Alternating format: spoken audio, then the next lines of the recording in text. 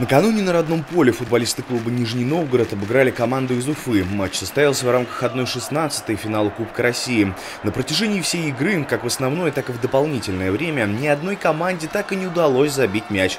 Победитель стал известен только по итогам серии пенальти 5-3 в пользу нижегородцев. Нашим удалось реализовать все пять голов с расстояния 11 метров, тем самым обеспечив себе выход в 1-8 финала Кубка России. Футбольный клуб «Нижний Новгород» встретится с футбольным клубом «Урал» в Екатеринбурге приблизительно через месяц.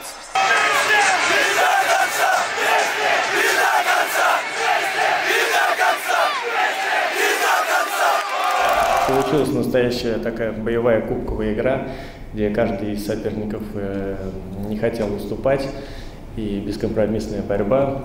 Но, наверное, э, то, что дошло до серии пенальти, это, наверное, логично, потому что особо моментов э, стопроцентных ни у нас, ни у команды соперника не было. Настрой команды, у нашей команды был запредельный, ребята старались, хотели показать хороший, красивый футбол, старались создавать моменты.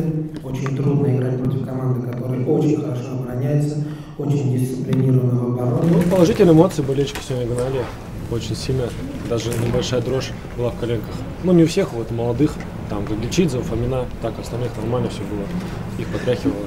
А так, самые хорошие эмоции. Мы всегда играем на победу.